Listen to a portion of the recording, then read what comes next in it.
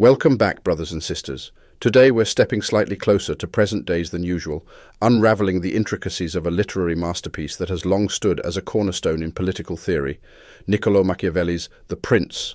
Crafted in 1513, amidst the intellectual richness of the Italian Renaissance, The Prince has fueled debates, sparked intrigue, and given rise to speculation throughout the centuries. Holding a master's in political science, I find myself often standing apart from the majority in the field, and this book is no exception. What they call political realism, I see as a facade for opportunism and the pursuit of power over principle.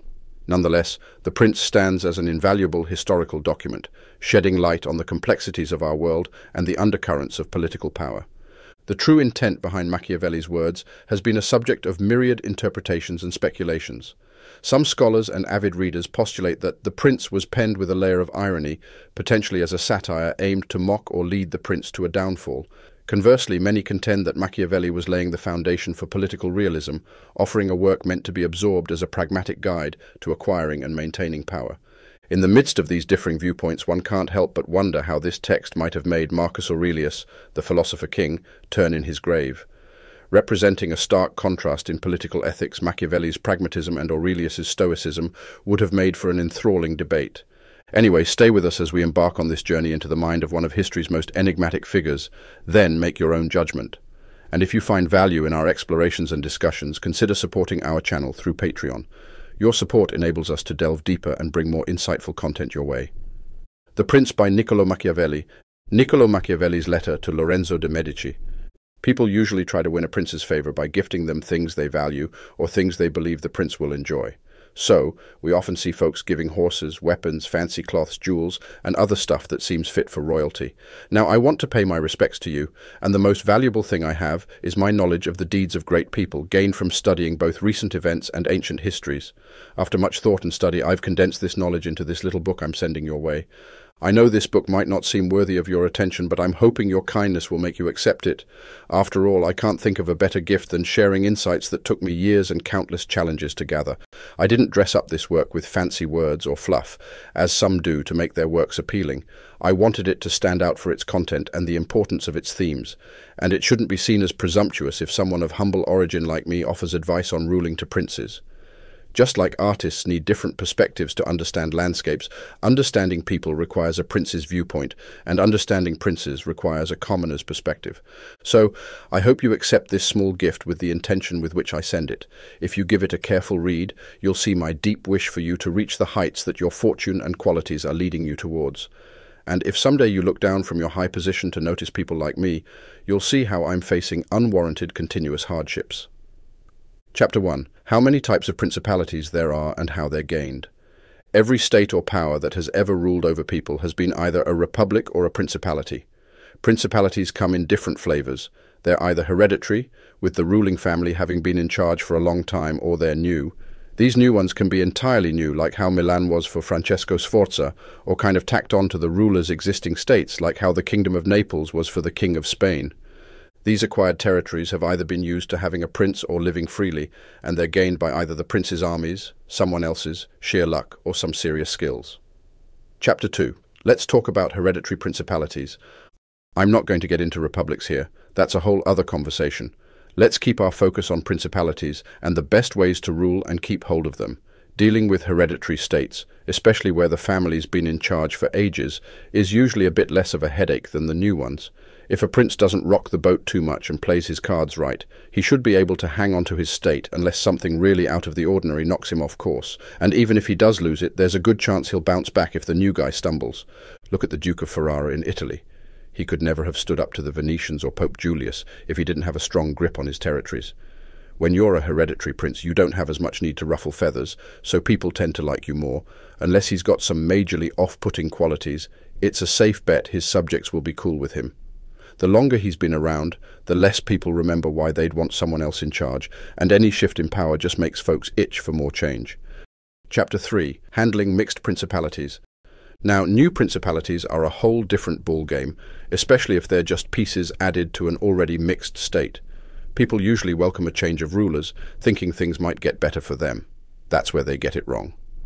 They often realize they've just jumped out of the frying pan into the fire. New princes have to lay down the law, bring in their troops, and shake things up. which doesn't exactly endear them to the locals. You see, you've got enemies from the folks you've upset taking over, and the friends who helped you get there. You can't really satisfy their expectations, and you can't go all out against them either. Even with a strong army, you need the locals on your side to make things work. Take Louis XII, the French king, for example. He swooped into Milan real quick but lost it just as fast. The first time, the locals who opened the gates for him felt deceived and didn't put up with the new management. Winning back rebellious places might be a tad easier the second time around.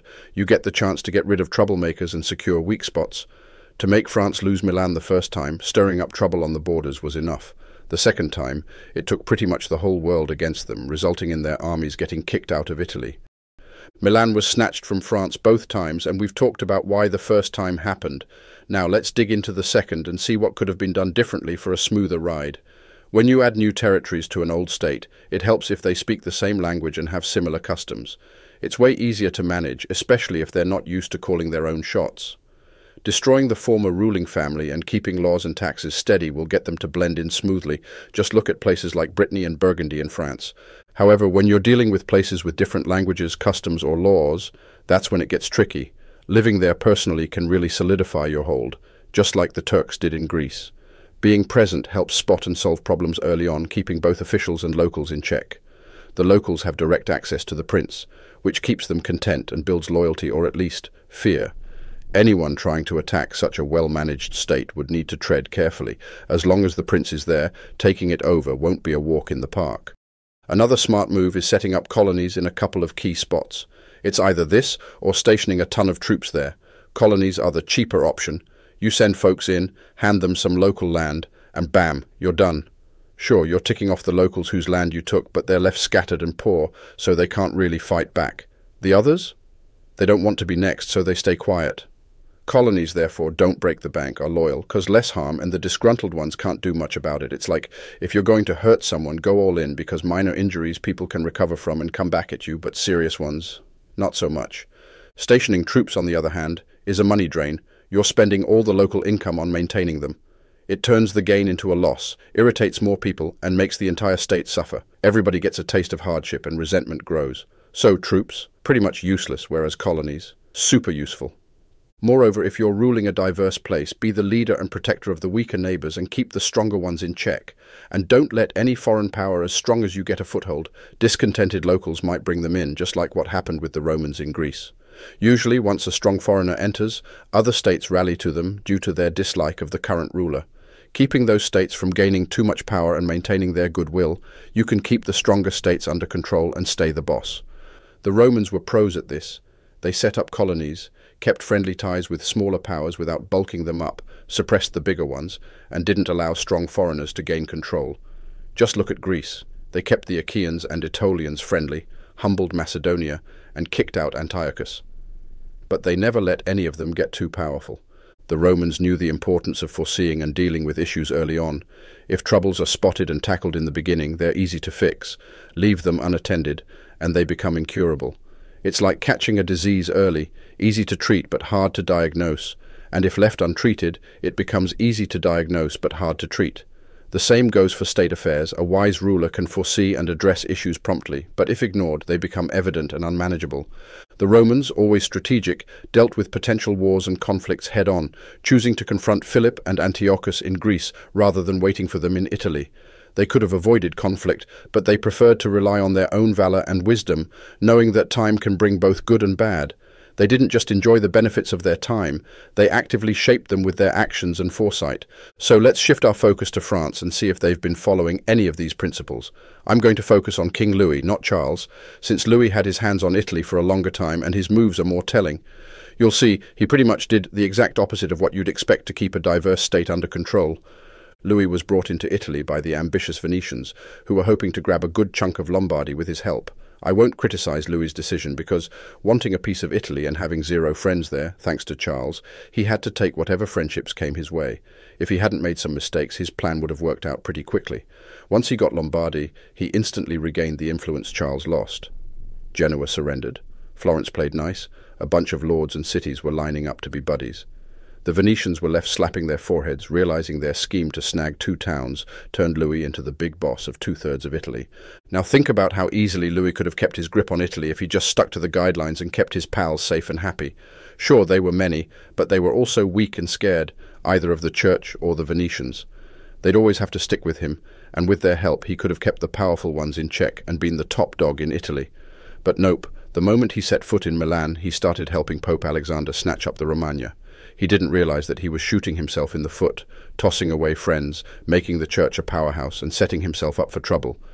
And after this major mess-up, he had to double down. He even had to come to Italy himself to curb Alexander's ambitions and stop him from grabbing Tuscany.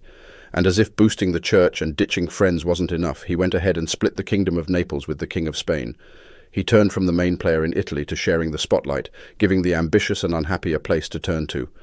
Instead of leaving his own puppet king in place, he booted him out and installed one who could kick Louis out in return. Wanting more is human nature, and when you can pull it off, kudos to you. But when you force it and fail, that's just dumb. If France could have tackled Naples alone, she should have. If not, splitting it was a bad call. The deal with the Venetians in Lombardy was a strategic move to get a foothold in Italy, but splitting Naples? That was just a bad play.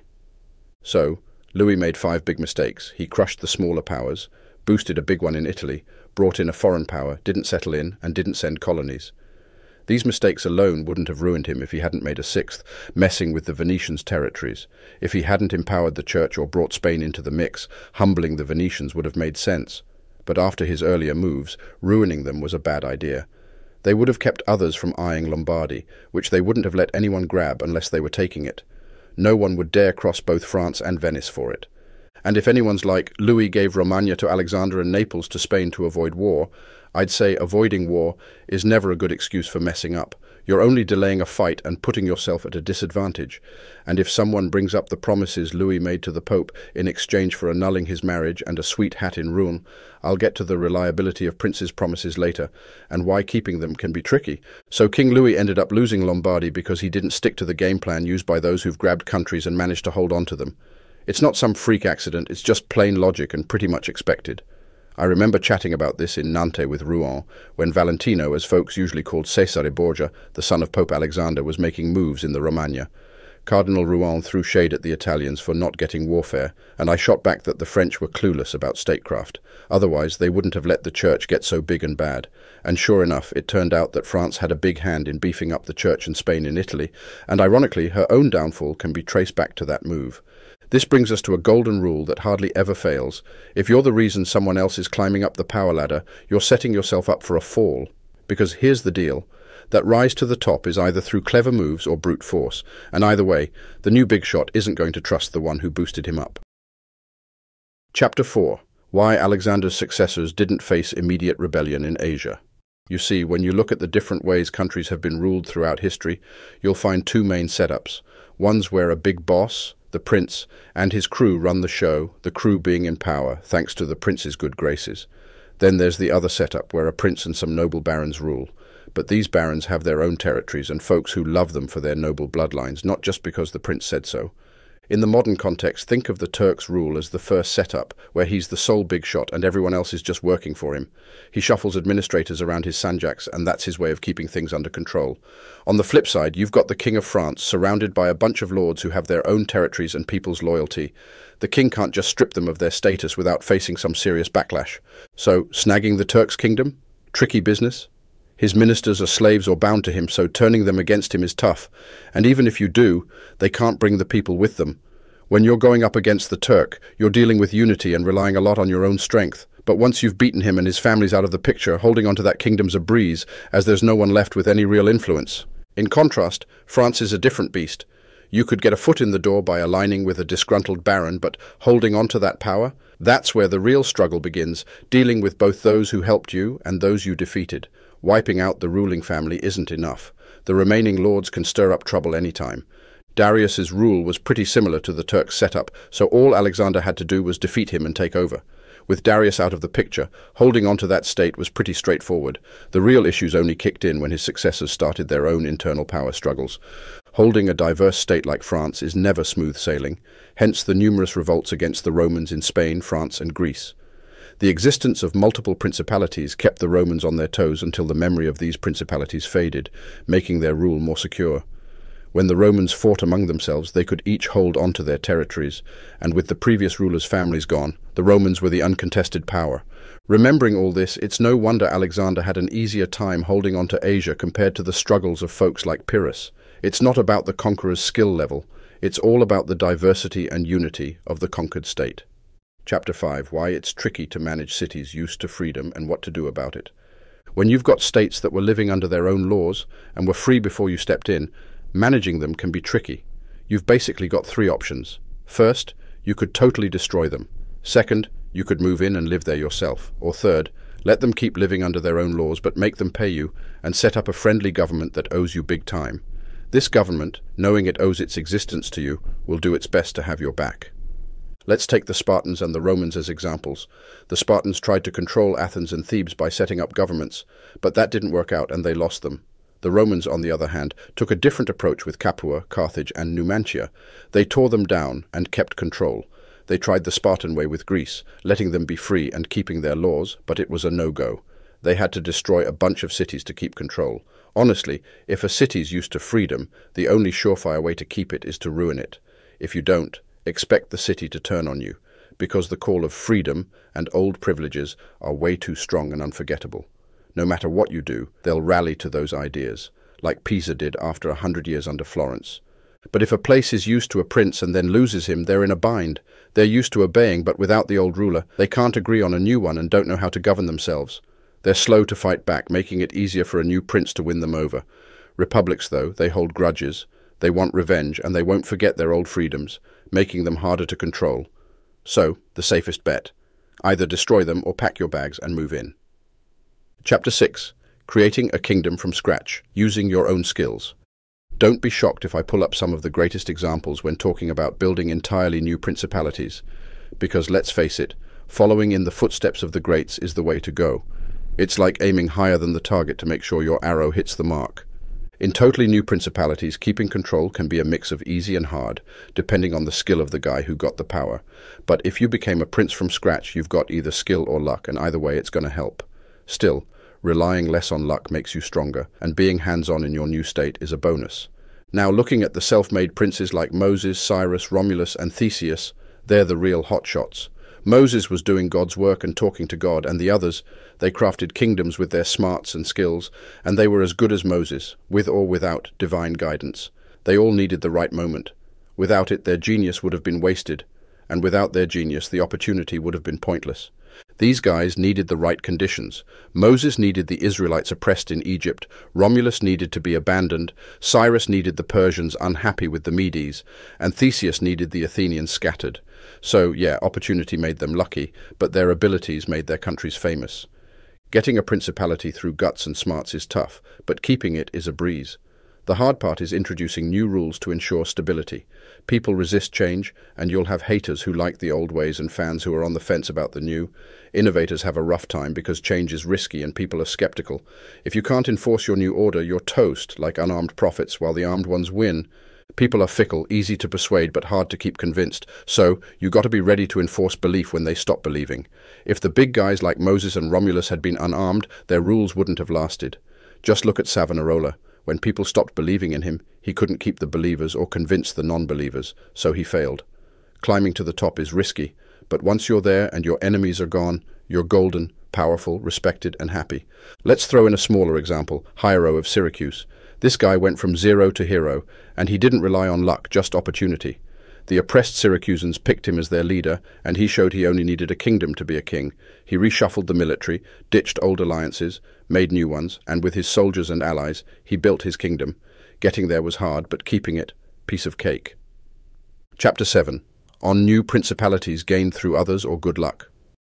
Becoming a prince from just a citizen by sheer luck is like a flight. Easy ascent, but tricky to stay in the air. Think of those folks in Greece or Ionia, handed cities by Darius for his own safety and fame, or emperors rising through some shady dealings with soldiers. They're propped up by the whims and luck of their benefactors, not exactly stable foundations. Plus, if they aren't already wise and skilled, they'll struggle. They've lived private lives and suddenly they're ruling without a loyal army. Like anything rushing to grow, states popping up overnight can easily topple, unless the new princes are smart enough to quickly secure their positions. Case in point, Francesco Sforza and Cesare Borgia. Francesco, using smarts and skills, climbed up to Duke of Milan and held it firm. Cesare, though, got his state while his dad was in power and lost it when the going got tough, despite being clever and doing everything right.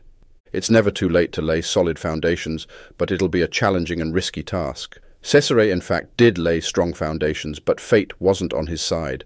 His father, Alexander VI, had ambitions for Cesare but faced obstacles, especially in acquiring non-church states. The Venetians and Duke of Milan wouldn't allow it. Plus, the key armies in Italy, fearing papal power growth, were hesitant. Alexander had to shake things up, aided by the Venetians bringing the French back to Italy, which made securing Romagna for Cesare easier. However, Cesare faced loyalty issues from his forces and the French. He realized that relying on the Orsini forces and the French king was risky. The Orsini's reluctance in attacking Bologna and the king's intervention in Tuscany were red flags. Cesare decided, no more depending on others' armies and luck. He started by weakening the Orsini and Colonnesi in Rome, winning over their supporters, and offering them positions and pay, erasing their old allegiances. When the Orsini saw the rising power of Cesare and the church threatening them, rebellion sparked in Urbino and Romagna. Cesare, with French aid, managed to regain control. Not willing to rely on external forces again, Cesare used clever strategies to bring the Orsini into his power at Sinigalia and eliminated the leaders. He had now secured Romagna and the Duchy of Urbino, and people were beginning to enjoy prosperity under his rule. This smart move by Cesare is worth noting and emulating by others. When the Duke stepped into power in Romagna, it was a land in disarray, governed by feeble rulers who preyed on their subjects rather than lead them. Desiring to establish peace and order, the Duke appointed Messer Ramiro d'Orco, a man known for his harshness but effectiveness, who rapidly brought stability to the region. Yet, to avoid Ramiro becoming a target of public disdain due to his stringent methods, the Duke set up a court of justice to ensure fair judgment, and subsequently had Ramiro executed to distance himself from the latter's cruelty. This act of public execution struck a balance between satisfaction and shock among the populace. Returning to the broader narrative of the Duke, he was consolidating power and forging alliances, notably as he recognized that the King of France, having realized his earlier miscalculations, would no longer back him. The Duke had his sights on Tuscany, having already secured a number of territories. With both France and Spain entangled in their own disputes, he took the opportunity to capture Pisa, and subsequently Lucca and Siena fell into his hands. The Duke had reached a point where he relied solely on his own capabilities and strategic acumen. However, the landscape shifted with Alexander's demise, leaving the Duke vulnerable, sandwiched between two formidable foes, and grappling with his deteriorating health. Nonetheless, the Duke was a figure of audacity and intelligence. Had it not been for the adversarial armies and his ailment, he could have potentially navigated through all the challenges. The region of Romagna showed allegiance, waiting for his return, and he maintained a stronghold in Rome. The Duke had meticulously planned for various contingencies, but his own impending death at the time of Alexander's passing was an unforeseen variable. Analyzing the Duke's maneuvers, it becomes challenging to pinpoint shortcomings. He serves as an exemplar for those ascending to governance through the influence or might of others. His lofty aspirations were curtailed solely by the untimely death of Alexander and his health's decline. The singular error in his strategy was endorsing the ascension of Julius II, a cardinal he had previously offended. The Duke should have supported a candidate he shared amicable relations with, like a Spaniard or Rouen. The assumption that recent favours would obliterate memories of past grievances is a misguided one, and this flawed judgment marked the unravelling of the Duke's reign. Chapter 8 On Rising to Power Through Dubious Means It's clear that people can rise from obscurity to power in ways that aren't solely based on luck or talent. I have to touch on these methods, even though one will get a deeper dive when we discuss republics. In essence, there are two main ways. One where you use sly, questionable tactics, and the other where you ride the wave of public approval. I'll drop two stories here, one old school and one more recent, as lessons for those who might be tempted by these routes. First, let's talk about Agathocles from Sicily. This guy started from the bottom. He was the son of a potter and led a life full of scandal. However, he was talented and ambitious. He climbed the military ranks and became the praetor of Syracuse. Once he had a taste of power, he wanted more, and wasn't about to wait for permission. Partnering with Amilcar, the Carthaginian general, he set a trap for the city's elite. Pretending he wanted to chat about state issues, he gathered the city's top brass and on his command, his soldiers took them all out. Just like that, he became the big man in Syracuse without much fuss. He had some clashes with the Carthaginians, even got defeated a couple of times, but dude was resilient. He even split his army, defended his city with half, and with the other half went on the offensive in Africa. Ultimately, the Carthaginians had to back off and leave Sicily to him. Now, was Agathocles just lucky? Nah. He made strategic moves one after the other, facing numerous challenges. But let's not call him a hero, all right? Killing your own people, betraying friends, and having no moral compass might win you power, but not respect. His bravery in face of danger and his relentless spirit might rank him among top-tier leaders, but his brutal methods and sheer wickedness tarnish his legacy. His rise to the top wasn't about fate or pure talent. Fast forward to more recent times during Alexander VI's era. There's this guy, Oliverotto da Fermo. Orphaned young, his uncle, Giovanni Fogliani, took him in. As he grew up, Oliverotto went off to be a soldier under Pagolo Vitelli, then under Pagolo's bro, Vitellozzo. He was smart, strong, and quickly became a big deal in the military scene. But serving under others, not his style. So with some shady locals and the Vitelleschi clan, he plotted to take over Fermo. He wrote to his uncle Giovanni, painting a picture of a prodigal nephew's return, even hinting he'd be coming with a hundred horsemen just for the aesthetics of it all. He wanted a grand welcome, not just for himself, but to show his uncle's prestige too. Little did the city know what he had up his sleeve. So Giovanni, being a good uncle, rolled out the red carpet for Oliverotto. The people of Fermo gave him a warm welcome, and Giovanni housed him, after chilling for a bit and setting up his dark plans, Oliverotto threw a fancy dinner party. He invited Giovanni and the bigwigs of Fermo. Once they had eaten their fill and were probably feeling a little tipsy, Oliverotto switched gears. He started this serious talk about how awesome Pope Alexander and his son Cesare were. Giovanni and the crew played along, but then Oliverotto pulled a classic, let's move this convo somewhere private move. Once they were all in a room, boom! Out of nowhere, soldiers jumped out and took them all out, including his own uncle. Oliverotto then paraded around town flexing his newfound power. He basically put the mayor under siege, making the townspeople super scared and forcing them to accept him as the new boss. He made sure anyone who could be a threat got the axe, setting up new rules and getting both the political and military scenes on lock. For that year, not only was he the top dog in Fermo, but even the neighbouring areas were kind of wary of him. But just like most villains, he met his downfall when he underestimated Cesare Borgia. Cesare trapped him in Sinigalia, and a year after his big power move, Oliverotto and his main man Vitellozzo were strangled. Now, you might be scratching your head thinking, how did guys like Agathocles and Oliverotto, with all their backstabbing and brutality, manage to remain in power for so long without their own people taking them down? Well, it's all about how you use that brutality. The smart way? Do all your dark deeds at once, make sure they're absolutely necessary for staying in power, then dial it back and maybe do something good for your subjects. The dumb way? Keep the brutality coming day after day. The first way can actually make you kind of stable, like Agathocles. The second, you're just setting yourself up for a fall. Take a note, would-be rulers. If you're going to seize power, you better do all your dirty work in one go. It's like ripping off a band-aid. Do it quick, then calm things down, and maybe, just maybe, people will start to like you again. If you keep hurting your people every day, trust me, they'll never have your back. Also, spread out the good stuff. Make it last. Make it count. Most importantly, as a leader, be consistent. Don't flip-flop, especially when times get tough. If you suddenly try to play nice after being a tyrant, no one's buying it. And if you try to get tough after playing Mr. Nice Guy, too little, too late, and no one's thanking you for it. Chapter 9 About Civil Leadership When a well-known citizen becomes the leader of his country through the approval of his peers, rather than by cunning or extreme force, we can say he's gotten a civil leadership. To get this, you don't need to be a genius or ridiculously lucky, but being clever and likable helps a ton. Here's the thing. In every city there are usually two groups, the regular folks and the nobles. The common people don't want to be bossed around by the nobles, and the nobles, well, they want to do the bossing. This dynamic can lead to three outcomes. Someone gets to be the leader, the people govern themselves, or everything goes into chaos.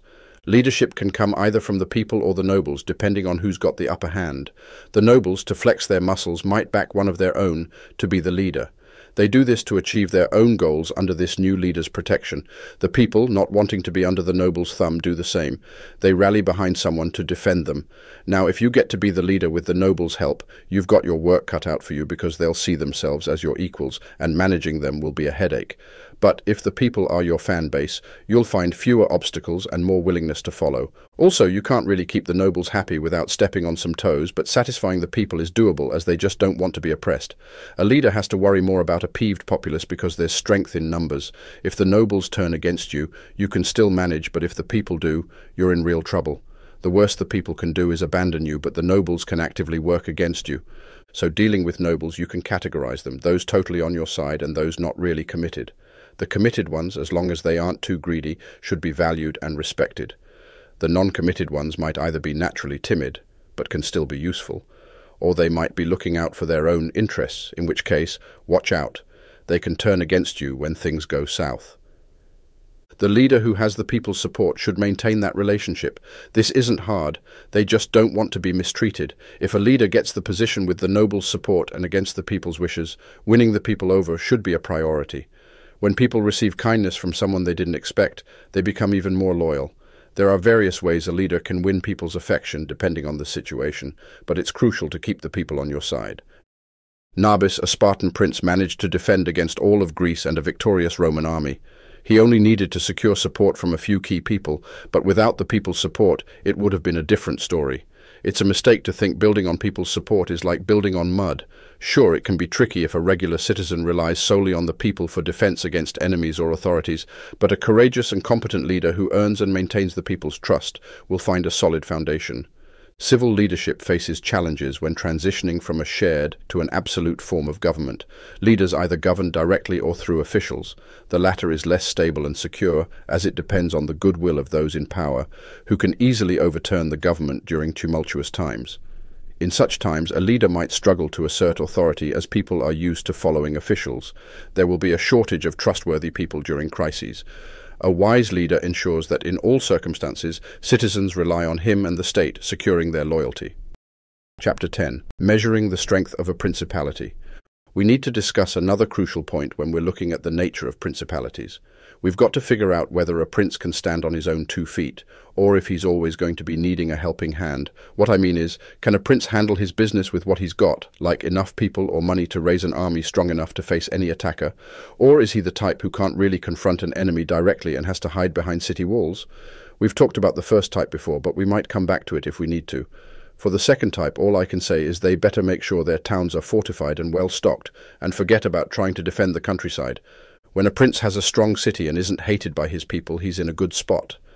No one's going to attack him without thinking twice, because people don't like going into situations where they can see it's going to be tough. And trying to attack a well-fortified city with a prince who's got the people's backing, that's not going to be easy. Look at German cities. They're totally independent, don't have much land around them, and only answer to the emperor when they feel like it. They don't fear any nearby power because they're so well fortified. They've got the right defenses, plenty of artillery, and enough supplies to last a year. Plus, they keep their people busy with important work and hold military exercises in high regard. So, a prince with a strong city and a good reputation isn't going to be attacked, and if someone tries, they're going to leave with their tail between their legs. And here's another thing, the world is pretty unpredictable, so keeping an army in the field for a whole year without something happening is nearly impossible.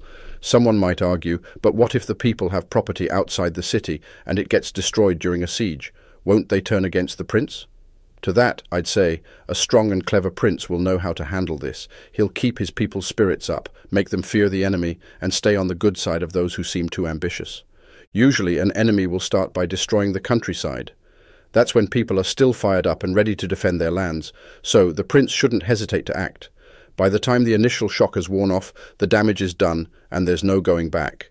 People are more likely to rally behind their prince, especially if they've lost their homes defending him. People tend to feel a sense of loyalty to those they've helped just as much as to those who've helped them. So if a prince plays his cards right, it won't be too hard to keep his people's loyalty from start to finish. Chapter 11 On Ecclesiastical Principalities all right, now let's chat about ecclesiastical principalities. Getting hold of these is the tricky part, but once you have them, they're a breeze to maintain. Why? Because they're backed by religious traditions, which are super powerful. It doesn't really matter how the princes in charge act or live, these principalities stay put. The rulers don't have to defend or govern in the usual sense, and yet they don't lose any ground, and the people don't seem to mind. It's like they're stuck, neither wanting nor able to break free. These types of principalities are pretty much set and content. Since these places are upheld by divine powers beyond our understanding, I won't dwell on them too much. It'd be pretty audacious and reckless to dissect something sustained by God himself, don't you think? But if someone wonders how the church got so mighty considering that even the small-time lords in Italy didn't think much of temporal power, I'd say it's worth reminiscing a bit. I mean, it's pretty evident when you see a king of France shaking in his boots, with the church having the power to kick him out of Italy and bring Venice to its knees. Before Charles, King of France, came into Italy, the Pope, the Venetians, the King of Naples, the Duke of Milan, and the Florentines were running the show. They were primarily worried about two things no foreign power entering Italy and none of them grabbing more land. The Pope and the Venetians were the biggest concerns. To keep Venice in check, everyone else had to team up, and to control the Pope, they used the divided Roman barons, Orsini and Colonnesi. This division kept the Pope's power in check, making the papacy weak and ineffective. Every now and then, a gutsy pope like Sixtus would pop up, but neither luck nor smarts could get him out of this mess.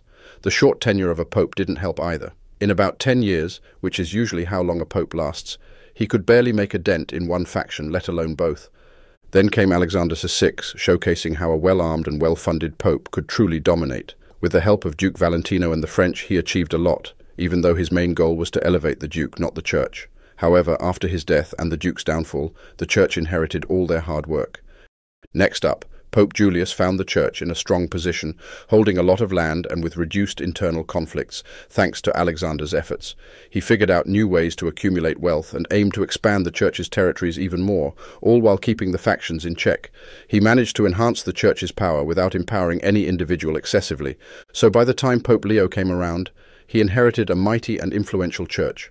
Hopefully he'll continue to elevate its stature and reverence through his virtues and goodness, building on the foundation laid by those who focused on military might. Chapter 12 The Different Types of Soldiers and the Problem with Mercenaries. Having talked in detail about the nitty-gritty of principalities and how to get and keep them, it's now time to talk about the means of offence and defence each of them has. We've already established that a prince has to have a solid foundation, otherwise it's a one-way ticket to ruin. The building blocks of any state, whether new, old or a mix, are good laws and strong arms. Without being well armed, good laws can't exist, so where there's solid military, you'll find solid laws. For now, let's put the laws aside and focus on the military. So a prince can defend his state using his own troops, mercenaries, auxiliaries, or a mix of these. Let me tell you, mercenaries and auxiliaries are a disaster waiting to happen. Relying on them is like building a house on quicksand. They're all over the place, undisciplined, unreliable, and downright cowardly in the face of real enemies. They neither fear God nor respect men, they're only in it for the paycheck, which isn't enough to make them risk their lives for you. The moment trouble shows up, they're out of there faster than you can say deserter. This has been Italy's downfall, placing all its bets on mercenaries, who might have seemed tough amongst themselves but crumbled when faced with real challenges. It's like we handed Italy over to Charles, King of France, on a silver platter. The sins of relying on mercenaries came back to bite the princes who employed them. Here's the thing. Mercenaries can either be skilled or not. If they're skilled, they're untrustworthy always aiming for personal glory at your expense.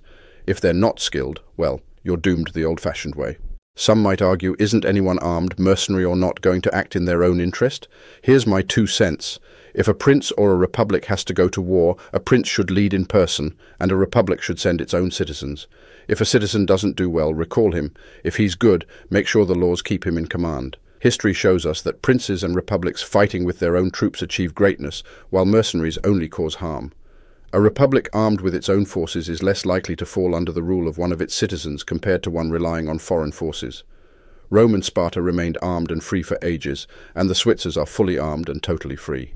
Looking back, the Carthaginians, who had their own citizens as captains, were oppressed by their mercenary soldiers after their first war with the Romans.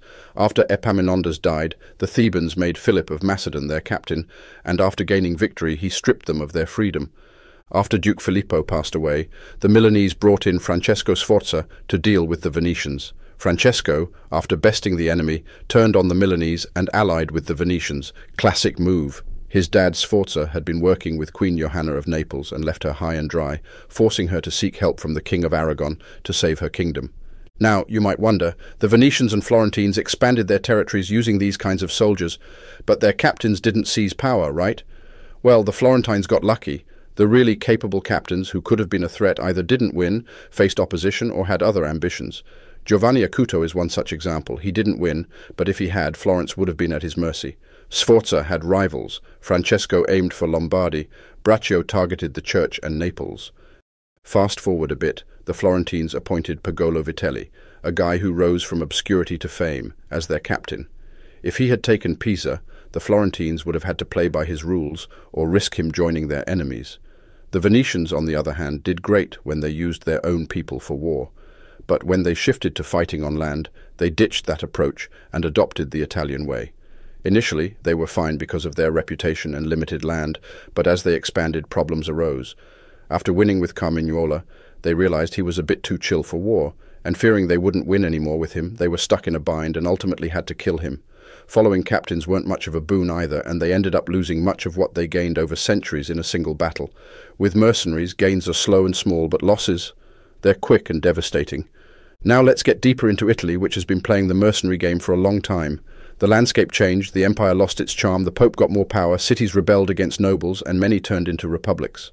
Since the church was run by priests and republics by civilians, neither used to fighting, they started hiring foreigners. Alberigo de Conio from Romagna was the first to make these mercenaries famous. From his school came Braccio and Sforza, who became the big shots of Italy. After them, a bunch of captains popped up, and what did they achieve? Italy got trampled by Charles, looted by Louis, wrecked by Ferdinand, and dissed by the Switzers. These captains worked to downgrade infantry to boost their own standing. They didn't have land and lived off their pay, so they couldn't afford a big infantry, which also meant less power. They focused on cavalry, which kept them in check, in an army of 20,000, you'd be hard-pressed to find 2,000 foot soldiers. These captains also had tricks up their sleeves to reduce their risks and efforts. They didn't kill in battles, took prisoners, didn't do night raids, and avoided winter campaigns. Camps weren't fortified, and night attacks were a no-no. These rules and tactics, aimed at making life easier for them, led Italy into a state of subjection and disgrace. Chapter 13 Thoughts on Auxiliaries, Mixed Troops, and Using Your Own Forces. Let's talk about auxiliaries. These guys can be tricky, as history shows. Think of them like calling in a favour. You bring them in to help out, like Pope Julius did recently when his own troops didn't cut it against Ferrara. Sure, they might be solid fighters, but they can be a real gamble for the one who calls them in. Lose with them, you're toast. Win, you're still kind of stuck with them. Take Pope Julius II, for example. The guy wanted Ferrara and went all in with foreign help, but Lady Luck stepped in. His auxiliaries got beat at Ravenna, the Swiss turned the tables, and he didn't end up captive to either his enemies or his auxiliaries. Remember when the Florentines, lacking an army, brought in 10,000 French to snatch Pisa? Risky times. Or that time the Emperor of Constantinople sent 10,000 Turks into Greece who then didn't want to leave. Yep, that's how Greece got in trouble. So if you're not looking to conquer, maybe these troops are your jam, but remember they can be more trouble than they're worth. At least with mercenaries, there's a bit of a buffer. They're not all from one place. You're paying them, and their leader isn't immediately going to turn on you. With mercenaries, cowardice is the main issue. With auxiliaries, it's their bravery that can be dangerous. Let's talk about Cesare Borgia started with French auxiliaries, moved to mercenaries when he felt the French were shaky, then, when figuring out these mercenaries were shady, ditched them for his own crew. He was much more respected with his own guys, showing the real power of having your own soldiers. And then there's Hiero from Syracuse. Found out mercenaries weren't great, decided he couldn't keep or dismiss them, so he offed them and went solo. Even David from the Old Testament knew not to fight Goliath with Saul's gear. You've got to use what works for you. Borrowed power is like borrowed clothes. It either falls off or restricts you. Charles VII of France got it. After pushing the English out, he knew he needed his own dudes. His son, Louis, messed up by ditching infantry for the Swiss, elevating their rep and reducing the worth of his own troops. The French army became a mix, better than just mercenaries or auxiliaries, but still not as good as having your own solid crew. The problem is, people dive into things that look good initially, but don't see the hidden issues. Like, if the Roman Empire's first big mistake is examined, it all started with hiring the Goths. Rome's strength started diminishing, and their courage transferred to others. So here's the conclusion. No kingdom is safe without its own forces. It's all up to luck without the strength to defend against hardships. True power and reputation come from relying on your own strength. Your real forces are your people, your citizens. Everything else is just mercenaries or auxiliaries. Reflecting on this and looking at how Philip, Alexander the Great's dad, and various republics managed should give us all the guidance we need. Chapter 14 The Prince and the Art of War.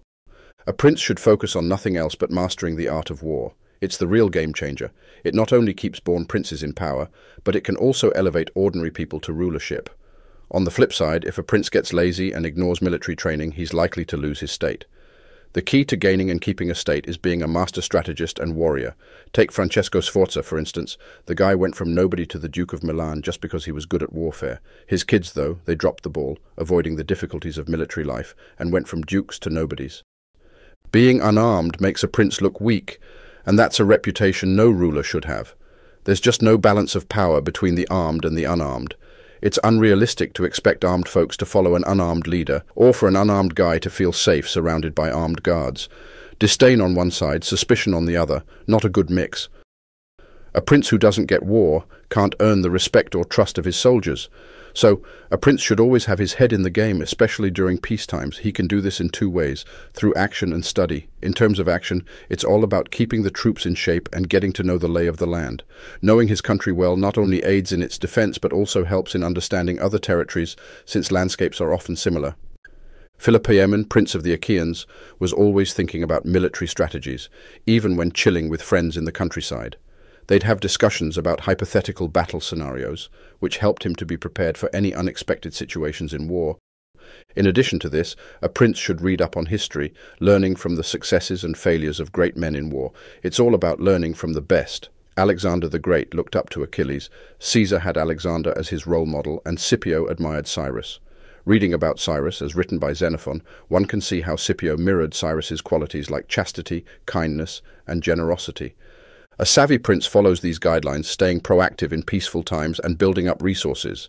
That way, if luck takes a turn, he's ready to face the challenges head on. Chapter 15 What Gets You Praise or Blame? Now, let's talk about how a prince should act towards his subjects and friends. I know, I know, a lot of folks have written about this, and I might sound bold for rehashing it. But I'm aiming for real talk here, no sugarcoating or daydreaming about utopias. The reality is there's a big gap between how we live and how we should live. If you're too focused on being Mr. Virtuous, ignoring the real world around you, you're heading for a fall. So, a prince needs to know the rules of the game, including the dirty tricks, and use them when needed. Ditching the fantasies, let's discuss the real deal. Everyone, especially those in power, gets labelled. Some are called generous, others stingy, and by stingy I mean holding back too much of their own, not robbing others. Some are called kind, others cruel, some faithful, others not so much, some brave, others cowardly, some friendly, others arrogant, some chaste, others, well, not. Some straightforward, others tricky, some serious, others not taking things seriously, some religious, others skeptical, and so on. Sure, it would be awesome for a prince to embody all the good traits, but let's be real, it's not happening. Human nature won't allow it. A prince needs to be wise enough to dodge the blame for vices that could cost him his state and if possible, avoid the ones that won't. But since no one is perfect, he might have to embrace some of those less than stellar qualities. He shouldn't stress about being blamed for vices that are essential for ruling. When you think about it, some actions might seem virtuous but can lead to a downfall, while some vices can actually bring about success and stability. Chapter 16 On Being Generous or Tight-Fisted.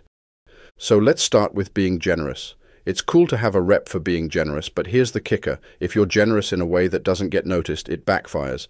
If you're doing it right and nobody sees, you'll still get called tight-fisted. So anyone aiming to be known as generous will have to go all out. A prince like that will burn through his cash, and then, to keep the generous rep, he'll have to tax the heck out of his people and scrape together every cent. That's a one-way ticket to Unpopularville. Once he's broke, nobody values him. With his generosity pleasing a few and annoying many, he's in hot water at the first sign of trouble. So if a prince can't be generous without it costing him, he shouldn't worry about being called tight-fisted. In the long run, he'll be better off, with enough funds to defend himself and take on projects without squeezing his people dry. He's seen as generous by the many he doesn't take from and tight-fisted by the few he doesn't give to. The big shots in our times who've done great things are the ones seen as tight-fisted. The rest flopped. Pope Julius II got to be pope with a generous rep, but he didn't keep it up, waging wars without extra taxes thanks to his thriftiness. The current King of Spain wouldn't have achieved so much if he'd been seen as generous. So, as long as a prince doesn't rob his subjects, can defend himself, doesn't go broke, and isn't forced to be greedy, being seen as tight-fisted shouldn't bother him. It's one of those vices that help him rule. Now you might say, Caesar rose to power by being generous. And sure, some folks hit the top by being and seeming generous. But here's the thing. If you're already a prince or on your way to becoming one, being generous is either risky or necessary. Caesar needed to be generous to climb the ladder in Rome, but if he hadn't cut back on spending later, he would have crashed and burned. If a prince uses his own or his subjects' money, he should be frugal. If he's using someone else's, generosity is the way to go. A prince leading an army living off plunder and extortions has to be generous to keep his troops happy. Splurging with others' money, like Cyrus, Caesar, and Alexander, boosts your rep. It's spending your own that hurts you. Generosity runs out fast. While you're at it, you lose the ability to be generous, leaving you either broke and despised or avoiding poverty, greedy, and hated. A prince's top priority is avoiding being despised and hated, and generosity can get you both. It's smarter to have a rep for being tight-fisted, which might get you some flack but not hatred, than to chase a generous rep and end up labelled greedy, attracting both criticism and hatred. Chapter 17 On Balancing Mercy and Severity, and the debate between being loved and feared. Let's talk about a leader's balance between being merciful and being severe. It's generally a good idea for a ruler to be known as merciful rather than cruel, but this mercy shouldn't be misused. Take Cesare Borgia, for example, he was known as cruel, but his severity brought peace and loyalty to Romagna. In comparison, the Florentines, trying to avoid a cruel reputation, let Pistoia be destroyed. So, a ruler shouldn't worry about a reputation of cruelty as long as it keeps his people united and loyal. It's better to be a bit harsh and maintain order than to be overly merciful and let chaos ensue. Especially for new rulers, it's nearly impossible to avoid being labelled cruel, because new reigns are full of challenges but a ruler should act with caution and humanity, and avoid showing fear, to ensure that he's neither too trusting nor too harsh. Now let's address the age-old question, is it better to be loved or feared? Ideally, a ruler would be both, but since that's tricky, it's generally safer to be feared. People can be ungrateful, selfish and fickle. They'll be loyal when it's convenient, but will turn on you when things get tough. A ruler who relies solely on people's love, neglecting other precautions, is setting himself up for failure. People are less hesitant to upset a loved ruler than a feared one because love relies on a sense of obligation which people often disregard, while fear of punishment is a much more consistent motivator. However, a ruler should aim to be feared in a way that doesn't earn him hatred. He can manage being feared as long as he doesn't meddle with his citizens' property or personal lives. When taking serious actions against someone, it should be justified and transparent. People tend to forget personal losses faster than financial ones, and while reasons to confiscate property can easily be fabricated, reasons for harsher punishments are harder to come by. When a ruler is leading an army, it's crucial to maintain a level of severity to keep the troops in line. Hannibal, known for his cruelty and courage, managed to keep a diverse army united and loyal, proving that without a degree of fear, other virtues might not be enough to maintain order. Leaders like Scipio, although admirable, faced rebellions due to their leniency, proving that too much forbearance can harm a leader's reputation and authority. In conclusion, since people love at their own will, but fear at the will of the ruler, a smart ruler should focus on what he can control. The goal is to avoid hatred and maintain a balance between being loved and feared.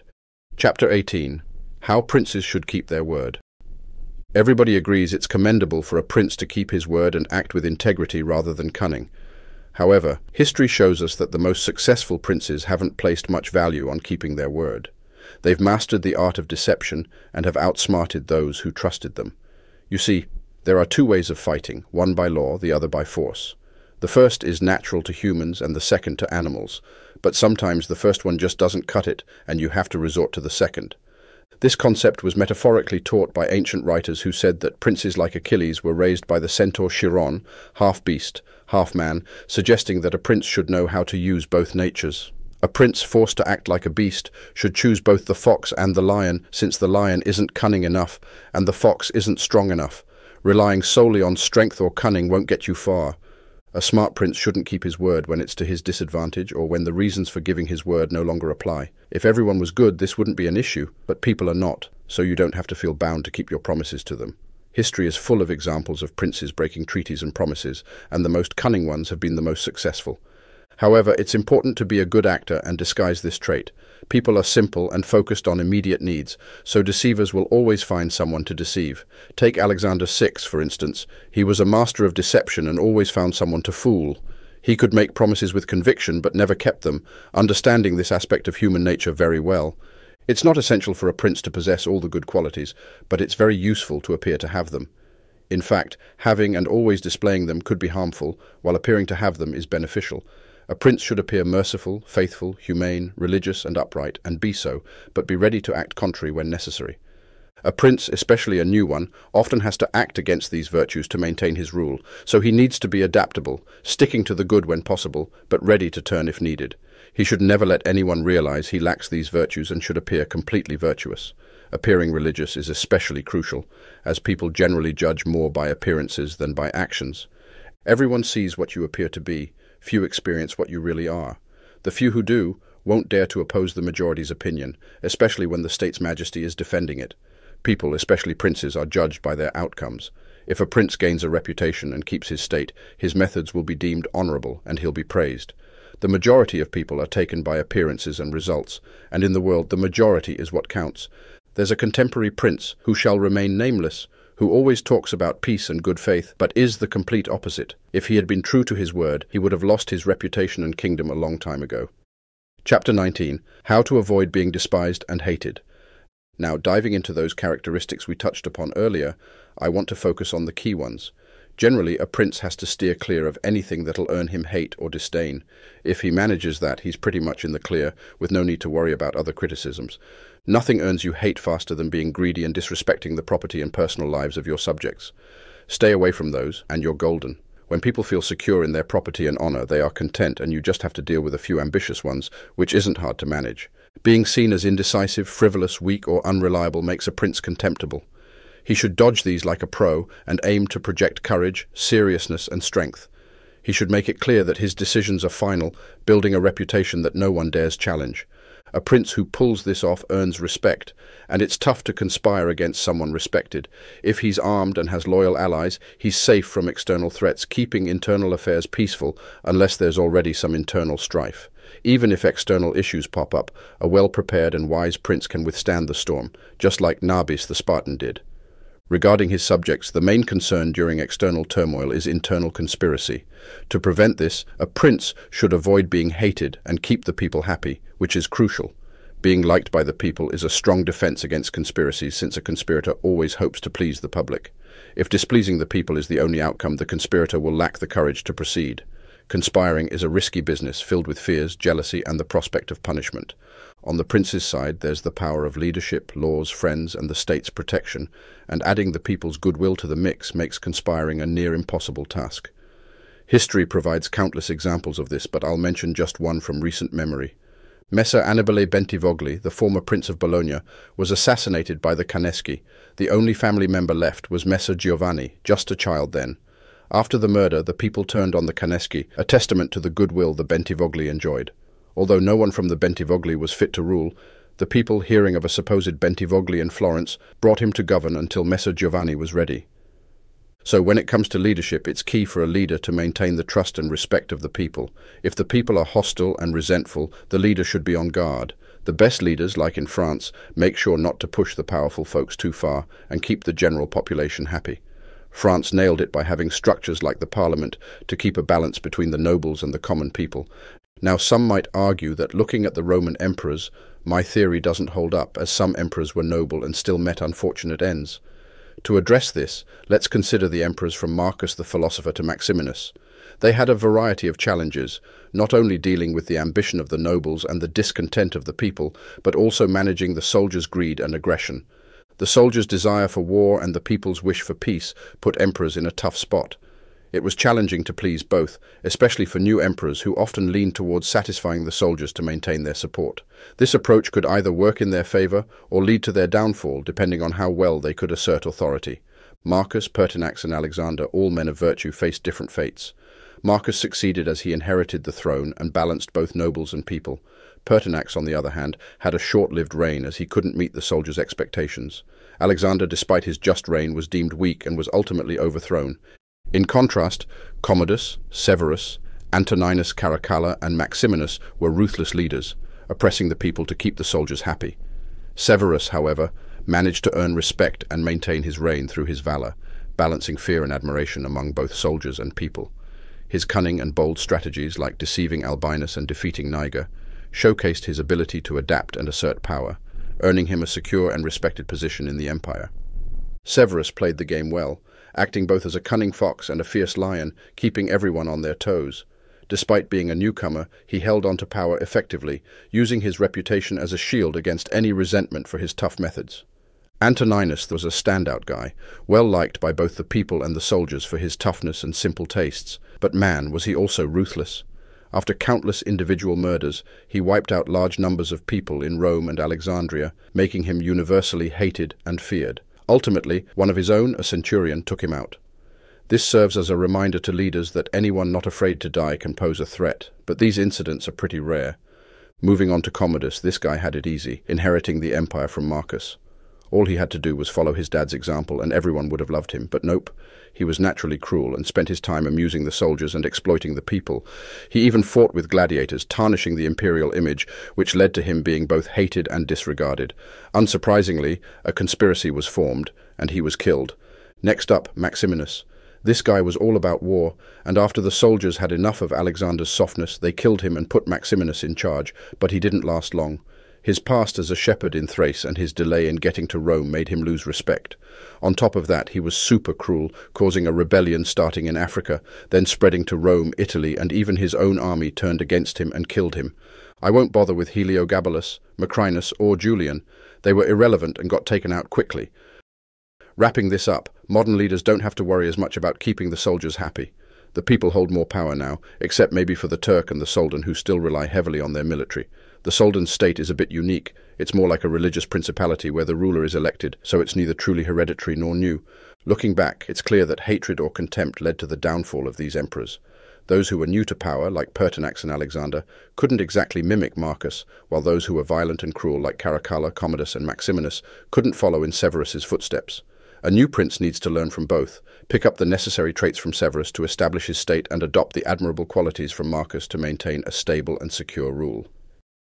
Chapter 20 The Pros and Cons of Fortresses and Other Strategies Princes employ various strategies to secure their rule. Some disarm their subjects, others fuel factions within their towns, and some even foster animosity against themselves. Building fortresses is also a common tactic. The effectiveness of these strategies varies depending on the specific circumstances of each state, but let's try to delve into the subject as broadly as possible. Firstly, let's discuss arming subjects. A new prince should never disarm his subjects. If he finds them unarmed, he should arm them. This way, the armed subjects become loyal supporters. Those not armed understand this differentiation and often excuse the prince as they realize that those facing greater risks deserve more rewards. Disarming subjects only breeds mistrust and forces the prince to rely on mercenaries who are unreliable. But when a prince acquires a new state, it's usually wise to disarm its inhabitants, except those loyal to him. Over time, even the loyal ones should be gently eased out of their martial ways. It's essential that the armed men in a state are solely the prince's own soldiers. Historically, rulers like our forefathers kept cities like Pistoia and Pisa under control through factions and fortresses, respectively. This approach might have worked when Italy was somewhat balanced, but today divided cities are quickly conquered by enemies. Fostering factions is seen as a sign of weakness, and only proves beneficial in times of peace. Surmounting challenges makes princes great. A wise prince, when possible, might even cultivate some animosity against himself to rise higher after quashing it. New princes often find more loyalty among those initially distrusted. It's crucial for a prince to understand the motives of those who supported him. Making friends with former enemies can sometimes be easier than satisfying discontented supporters. Building fortresses has been a traditional way for princes to secure their states. Fortresses can act as a deterrent to potential conspirators and a refuge during attacks. However, their utility depends on the circumstances. A prince more fearful of his people than foreigners should build fortresses and vice versa.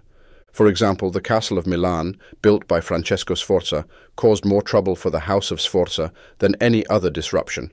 The best fortress a prince can have is the love of his people. If the people hate you, no fortress will save you, as there will always be foreigners willing to help them.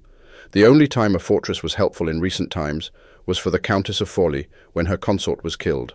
However, when attacked by Cesare Borgia and the people turned against her, the fortress was of little value. In conclusion, building fortresses can be as commendable as not building them, but relying solely on them while neglecting the people's sentiment is blameworthy.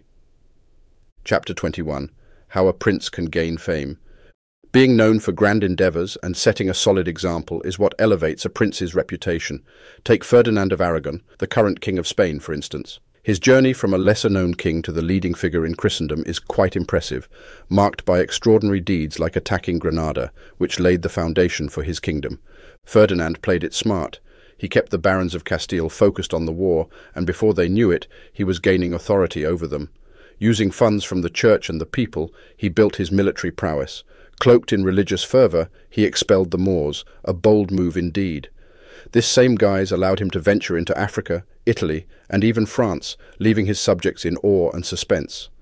Setting unique examples in internal affairs also boosts a prince's reputation. Like Messer Bernabo da Milano did, rewarding or punishing extraordinary actions makes people talk. A prince should strive to earn a reputation as a great and remarkable leader. A prince earns this respect by taking clear stances. Being a true friend or a straight-up enemy is better than sitting on the fence. Choosing a side is always more beneficial. If your powerful neighbors are at odds, and one conquers, you'll either fear him or not. Declaring your stance and engaging in the fight is the safer bet. The conqueror won't favor the indecisive, and the conquered won't shelter you. When Antiochus went into Greece, the Aetolians invited him to fight the Romans. The Romans and Antiochus both tried to sway the Achaeans. The Roman representative argued that neutrality would leave them at the mercy of the conqueror. Indecisive princes often choose neutrality to avoid immediate danger and usually end up ruined. By courageously taking a side, a prince forms bonds, even with a powerful victor. When the opponents are evenly matched, allying is prudent. You help in defeating one, leaving the victor in your debt. However, a prince should be wary of allying with someone stronger unless necessary to avoid being at their mercy. The Venetians learned this the hard way by allying with France against the Duke of Milan. Governments shouldn't expect only safe options. They'll have to make risky choices. The key is distinguishing between troubles and opting for the lesser evil. A prince should also be a patron of talent and honor those skilled in every art. He should encourage citizens to engage in trade, agriculture, and other occupations, assuring them of rewards and security. Hosting festivals and spectacles and engaging with various guilds or societies in the city builds a connection with the people. While doing so, a prince must maintain his dignity and never compromise his rank. Chapter 22 On a Prince's Servants The people a prince chooses to have around him, particularly his servants, say a lot about his judgment. It's through this crew you first gauge a prince's smarts. If he's surrounded by capable and loyal folks, give him props. He knows how to pick 'em and keep 'em true. But if his crew is sketchy, it reflects poorly on him. Choosing them was his first mistake. Take the case of Antonio da Venafro serving Pandolfo Petrucci, the big guy in Siena.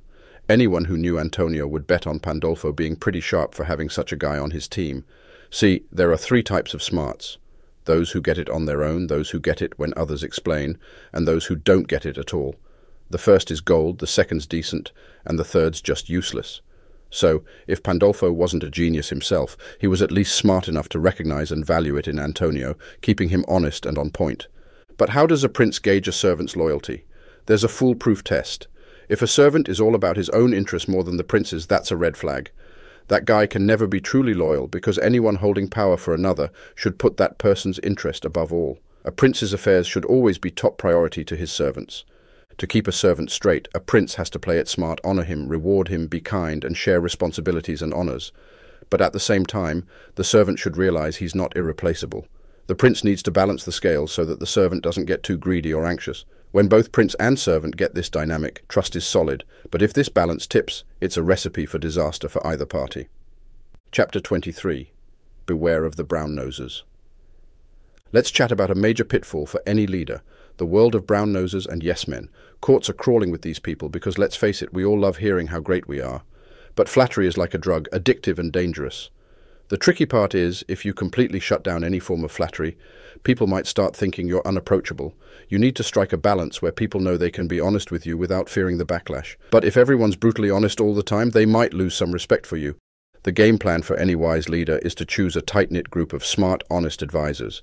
Give them exclusive rights to speak their minds, but only about stuff you ask them. Always be curious. Ask them about everything, hear them out, but then make your own call. Make it crystal clear to them. The more straight up they are, the more you'll value them. Anyone outside this inner circle, nod and smile, but keep your plans to yourself. Flip-flopping based on everyone's two cents is a surefire way to lose respect and credibility. Look at Emperor Maximilian. Guy didn't talk much, kept things under wraps, but he also didn't really have a solid plan. The moment he made a move, his people would block him because they weren't clued in, He'd then change tactics and no one could ever guess his next move, not exactly the kind of leadership that inspires confidence. So a leader should seek advice only when they want to, not when they're told to, and they should be the ones asking questions.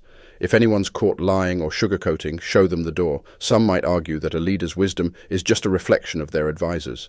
That's a load of bull. A clueless leader can't recognize or value solid advice, unless, by some miracle, they've handed all their affairs to a super smart advisor. But even then, how long until that advisor decides to take the reins? When a leader asks multiple people for advice, it gets messy. Everyone's got an agenda, and if a leader can't see through that, it's chaos. Trustworthy advisors are rare. Real talk. A leader's good decisions come from their own smarts, not just the advice they get. Chapter 24 Why Italy's big shots lost their game. When a newcomer takes charge and nails it from the start, they can quickly earn respect, maybe even more than those born into power. See, every move of the new kid on the block is under the microscope. If they're on point, people will rally around them even stronger than they would for someone with an old family name. It's all about the here and now. Give people what they want today and they'll have your back. Deliver on promises and they'll stand by you rain or shine. It's a major win to create a new power base and build it up right. But if you're born with a silver spoon and you mess it up, man, that's a fail of epic proportions. Just look at the heavy hitters in Italy who crashed and burned, the King of Naples, the Duke of Milan and others. They mostly had one glaring issue. They sucked at military stuff.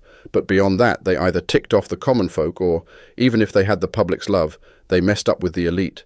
If you've got enough firepower and avoid these pitfalls, you're golden. Take Philip of Macedon. No, not Alexander the Great's dad, the other one.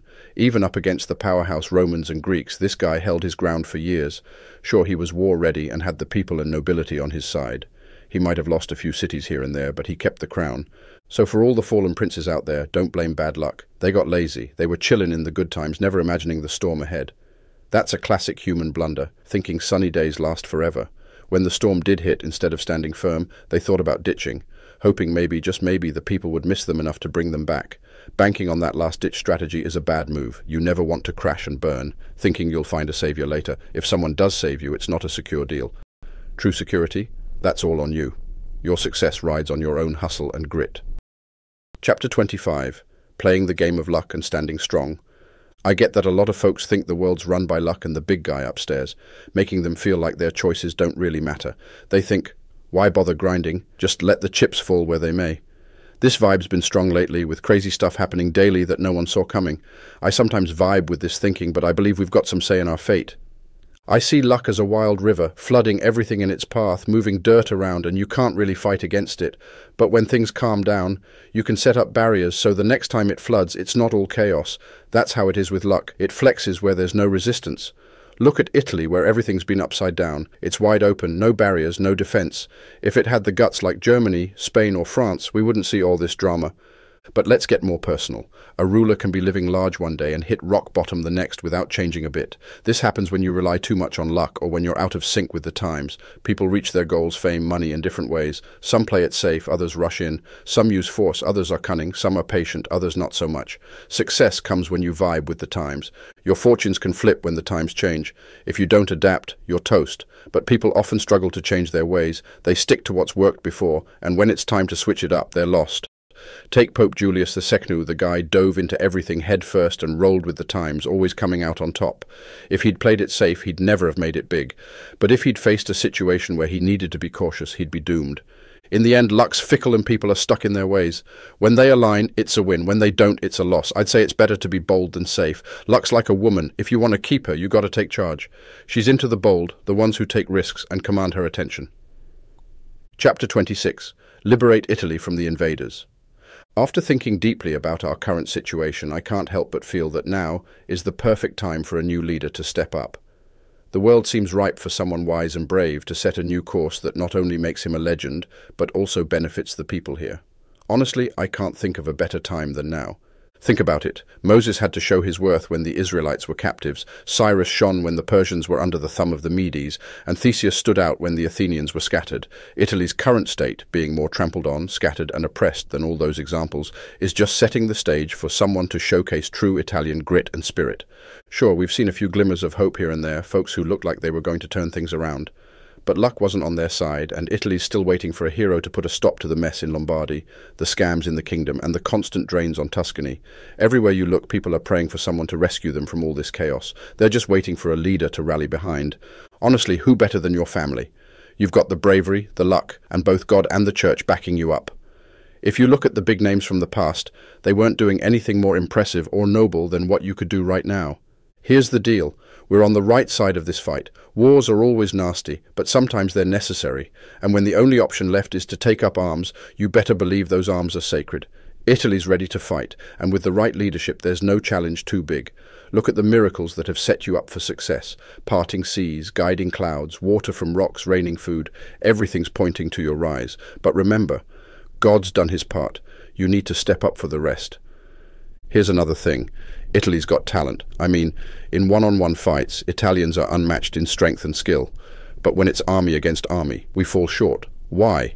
It boils down to leadership. We've got plenty of strong individuals, but they aren't great at following orders. And without a standout leader, everyone thinks they know best. That's why our full Italian armies have, let's be honest, kind of sucked recently.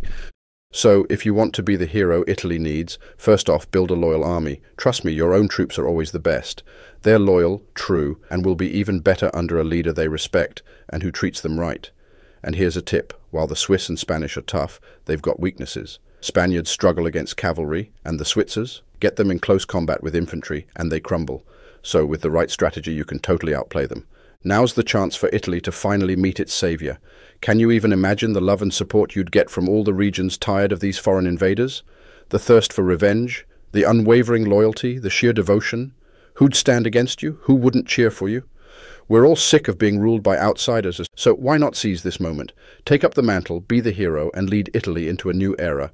Remember the old Italian valor. It's still alive and kicking in our hearts. And there we have it, brothers and sisters, a journey into the world of Machiavelli and the enigmas of the prince.